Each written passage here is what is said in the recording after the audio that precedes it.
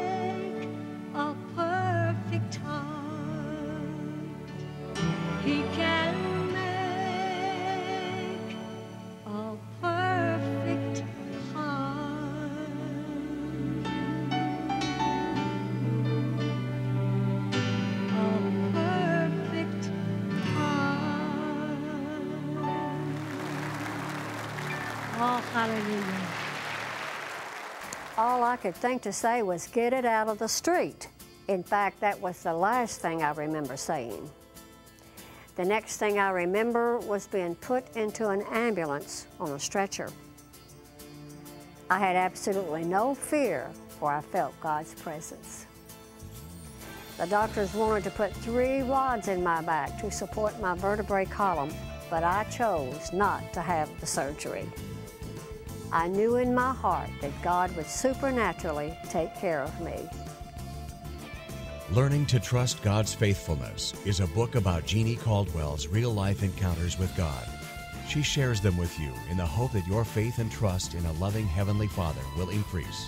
To order the book Learning to Trust God's Faithfulness, call 800 264 2525 or visit our website at vtntv.com. And now, here's Pastor Caldwell with today's message. So hopefully it, it stays on uh, this session. John 3:16 and John 17 are the two scriptures that we want to read first. Very familiar passage of scripture. For God so loved the world that he gave his only begotten Son, that whosoever believeth in him should not perish, but have everlasting life.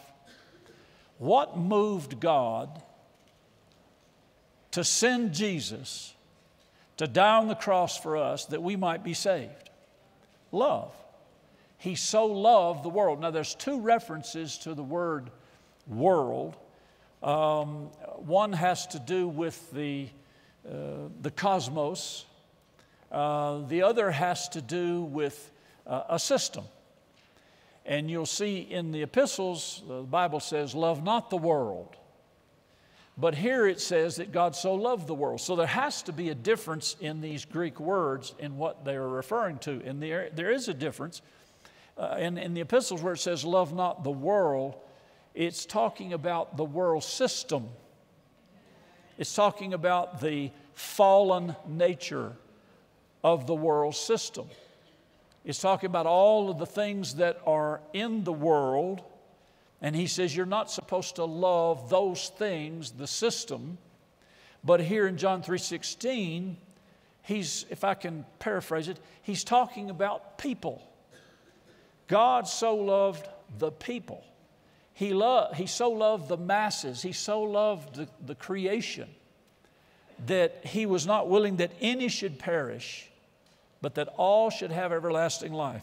So God so loved the world, he was so moved by love. And of course, in 1 John, it tells us that God is love, 1 John 4. So love is what moves God. God is love, he doesn't have love, he is love. His nature is love. He, by the Holy Spirit, through Jesus' substitutionary sacrifice on Calvary, is in you. God in you. Christ in you, the hope of glory. So, Romans tells us, and we'll read it in a minute, that the love of God was shed abroad in our hearts by the Holy Ghost. So, the, the first thing that I want you to, to get a revelation of is you have the love of God on the inside of you. Amen. Now, the struggle we have as human beings and, and being perfected in love is we're not quite perfect yet in love, so we uh, condemn ourselves because we miss the mark so many times. Uh, we say things we shouldn't say, we do things we shouldn't do, there's actions and words and and then you have to ask God to forgive you, then you have to apologize, you have to repent. And so you're, you're constantly warring within yourself. I know the love of God is in me. I know God loves me. I love Him.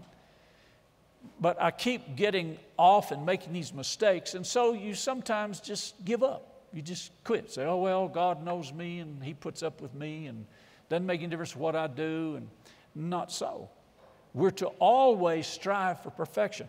In Matthew's Gospel, the fifth chapter, and we'll read that, it says that we are to be perfect as our Father in heaven is perfect.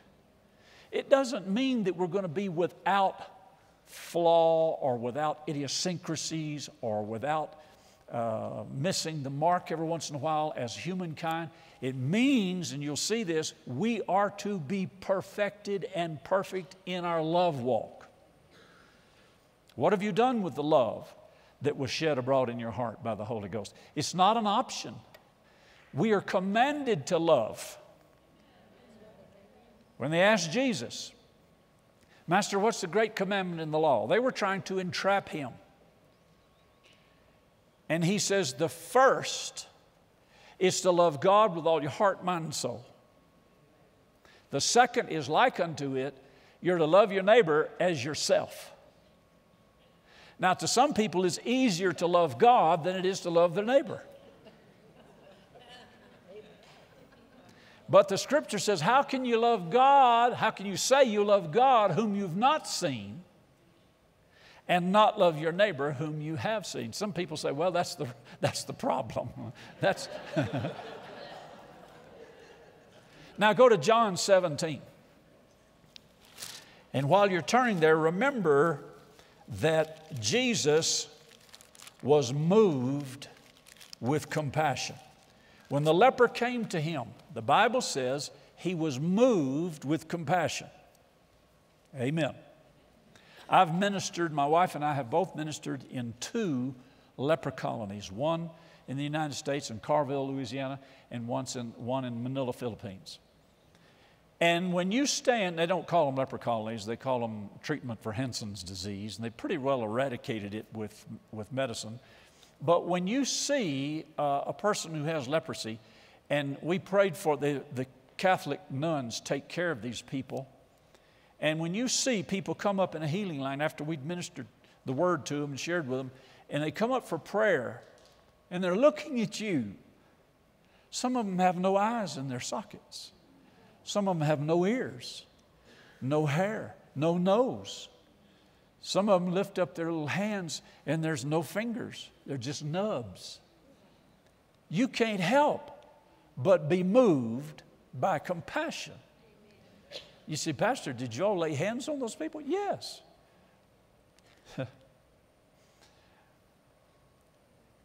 John G. Lake, missionary to Africa, medical missionary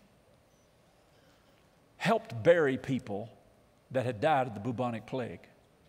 When the medical missionaries came over to help and assist, they asked him, What have you done to protect yourself from contacting the disease?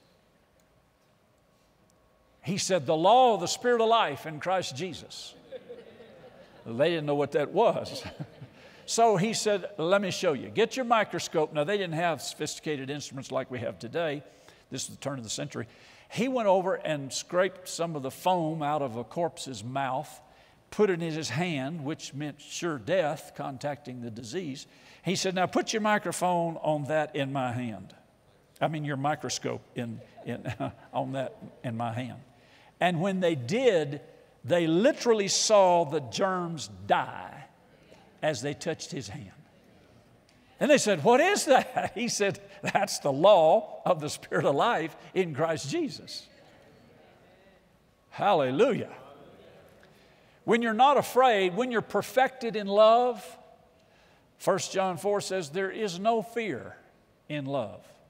So you can lay hands on people that have diseases, leprosy, whatever, and, and medical science has verified this that if there's no fear, no apprehension, no dread of contacting the disease, the pores in your skin close and the germs can't get in there. But if you're fearful and afraid, the pores open. You have the law of the Spirit of life in Christ Jesus. But you have to walk in love. Love is what makes your faith work. Brother Hagin used to use this as an example. He said one time he was in a meeting, he was sitting in the hotel, uh, sitting on the bed one day because he just didn't feel right. He, he was very seldom ever sick uh, after God healed him of heart problems and uh, he never took an aspirin and you know never was sick uh, in his life and all of a sudden he just started feeling bad so he knew that there was something not right so he asked the lord he said lord i know this is not you and I know this is not right, and there's no reason for me to be sick. So he said, What's, what's wrong here? Where have I missed it? And the Lord said, You have taken a step out of love. Wow. Your faith doesn't work when you're not walking in love. So he immediately judged himself, corrected himself, and he said, began to feel better immediately. So, love is a spirit, it's a powerful, it's the nature of God, and it's on the inside of you. John 17, verse 24. Father, I will that they also, whom thou hast given me, be with me where I am, that they may behold my glory, which you've given me, for you love me before the foundation of the world. O righteous Father, the world hath not known you, but I've known you, and these have known you that you've sent me. And I have declared unto them your name, and will declare it, that the love wherewith you have loved me may be in them, and I in them. Now, you believe Jesus gets his prayers answered? Of course. Right now, today, as we speak, Jesus is seated at the right hand of the Father, ever living to make intercession for you. And here he says, Father, I declare that the love wherewith you have loved me may be in them. Think of that. That is so powerful. God so loved that he gave his only begotten Son. Jesus said, The love that you love me with will be in them, in you. Now, my brother and sister, that's powerful. Go back to John 15 and let's look at verse 9. We are to continue in that love.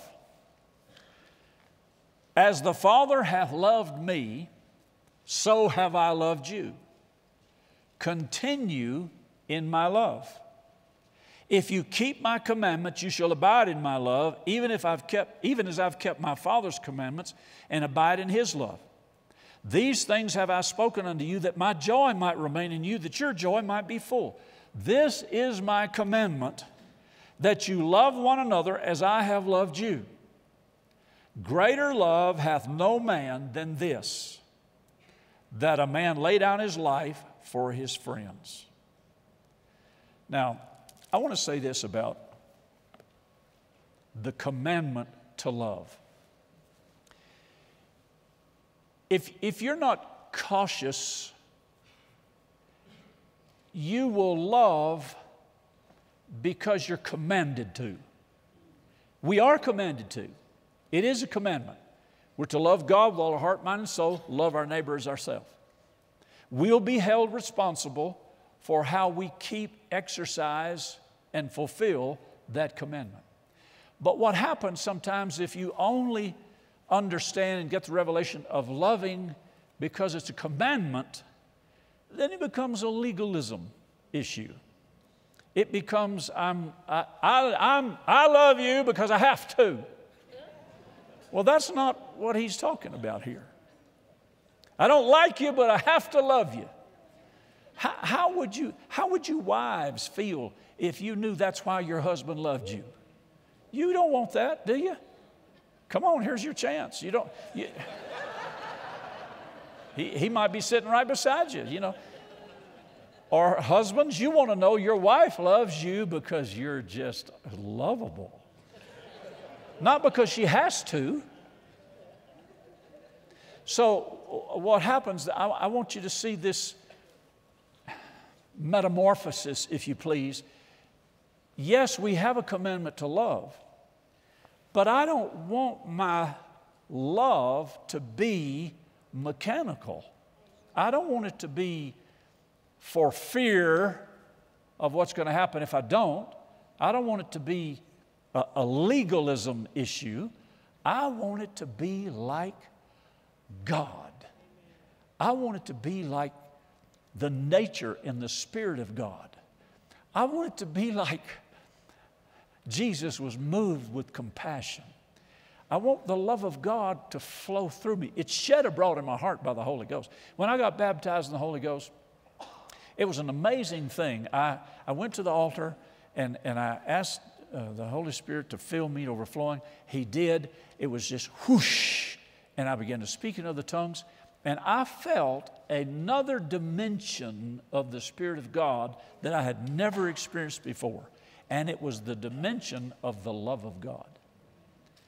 My wife was on one side of me, and my mother in law was on the other, and, and you know it's the love of God when you love your mother in law.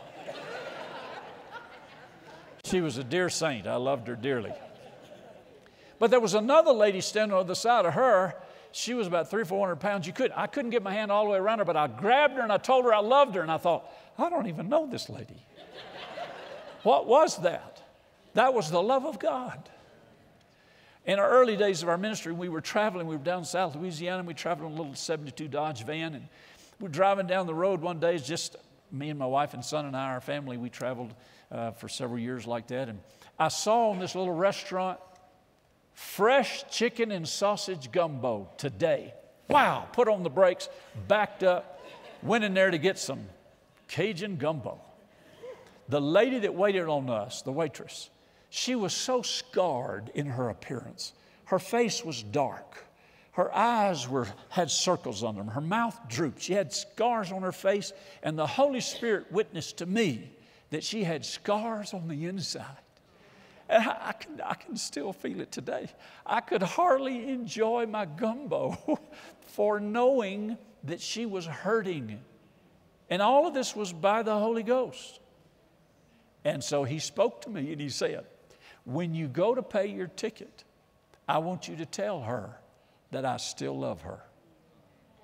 Oh man, I couldn't. We got up to the counter and I paid the ticket and I said, Ma'am, I, I, I need to tell you something. She looked at me.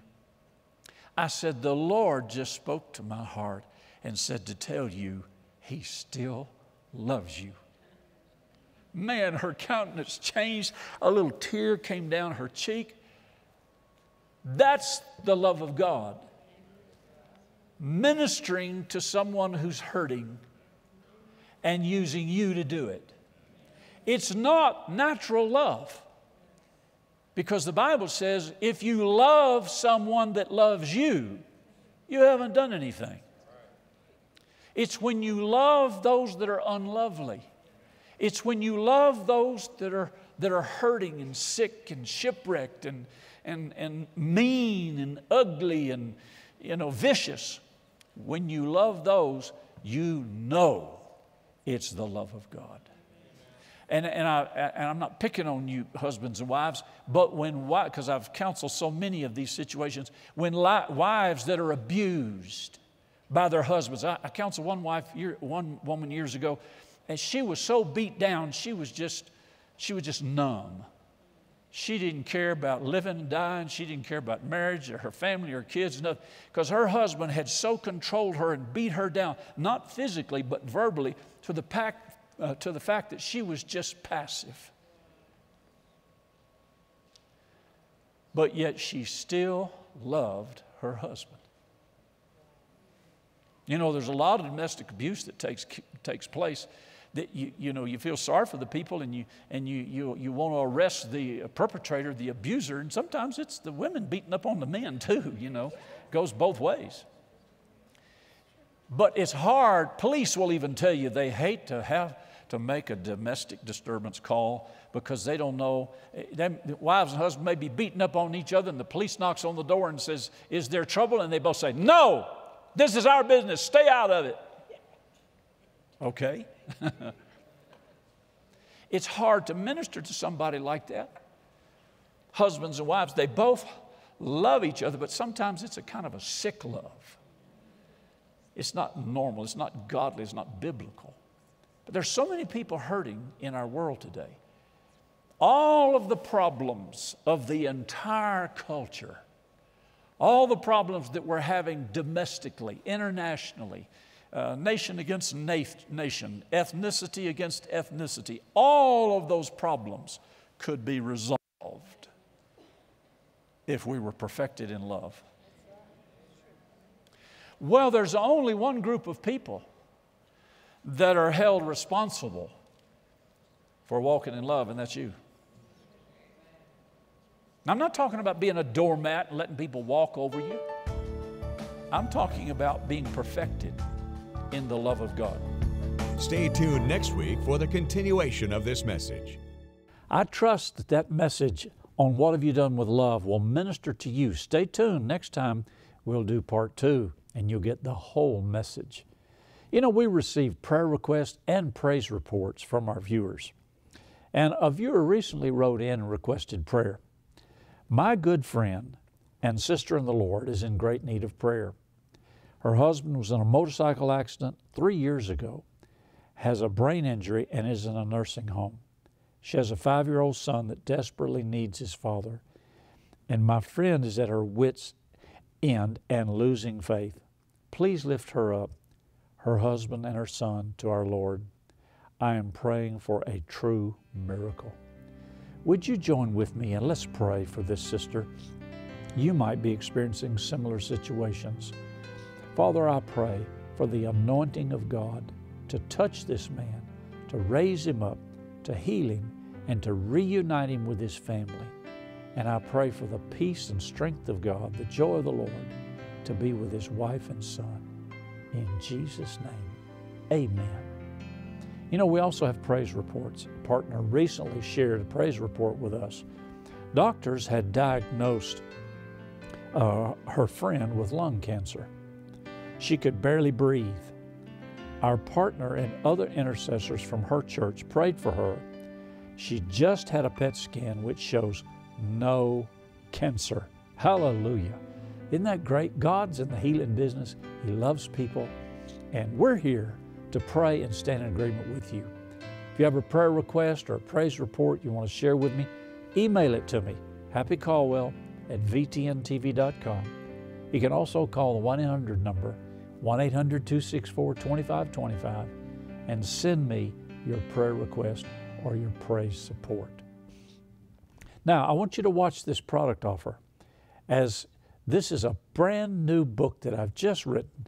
It's gen, just been released by Harrison House, and I am so thrilled about it. I think it's the best book I've ever written, and uh, I read it myself after it came out, and I was blessed. So I want you to have it. Watch this. The book is called The Heart of a Pastor. Do you feel a call from God to be a pastor? The calling of a pastor is the most demanding of the fivefold ministry gifts, but it is also one of the most rewarding. Pastor Happy Caldwell's brand new book, The Heart of a Pastor, shares over 30 years of his practical experiences, mistakes, and successes. The principles found in this book are ones that Pastor Caldwell has taken and applied from God's Word. If you want to answer the call to be a pastor and be joyful while doing so, then you need to get this book. Just $16.99. To order your very own The Heart of a Pastor, you may log on to VTNTV.com or call 1 800 264 2525. Thank you so much for joining us for today's program. Be sure and get your copy of The Heart of a Pastor and be sure to join Jeannie and me next week, same time, same station. And remember, happy is the man that finds wisdom and the man that gets understanding. You can watch today's show online. Simply log on to VTNTV.com and click Happy Caldwell. If you'd like to order today's broadcast on DVD, you may call 1 800 264 2525 and ask for the offer number on the screen. To contact this ministry, you may write to Happy Caldwell at P.O. Box 26207, Little Rock, Arkansas 72221. You may also call us at 501 223 2525.